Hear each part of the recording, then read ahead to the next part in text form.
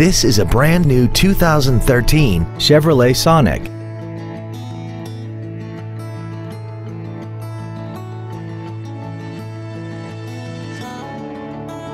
Its top features include traction control and stability control systems, XM satellite radio, aluminum wheels, and a tire pressure monitoring system. The following features are also included air conditioning, cruise control, full power accessories, an independent rear suspension, an engine immobilizer theft deterrent system, dusk sensing headlights, an anti-lock braking system, side curtain airbags, front and rear reading lights, and an auxiliary power outlet.